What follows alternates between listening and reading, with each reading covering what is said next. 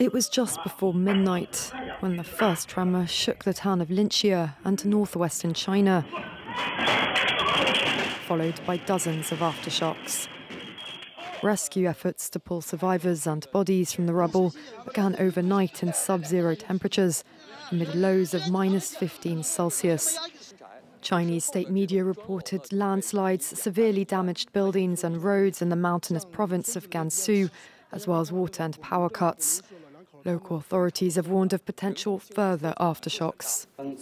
There is still a possibility of aftershocks with a magnitude of up to 5.0 occurring in the epicenter area in the coming days.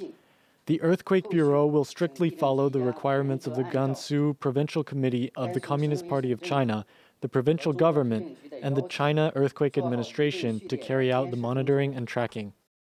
The earthquake was felt as far away as the city of Lanzhou, around 100 kilometers from the epicenter along the boundary of Gansu and Qinghai provinces. Earthquakes are common in this high altitude province, lying on the tectonically active Qinghai Tibetan plateau. State media said that tents, folding beds, and quilts were being sent to the disaster area. China's deadliest earthquake in recent years was a 7.9 magnitude in 2008 that killed nearly 90,000 people in the southwestern Sichuan province.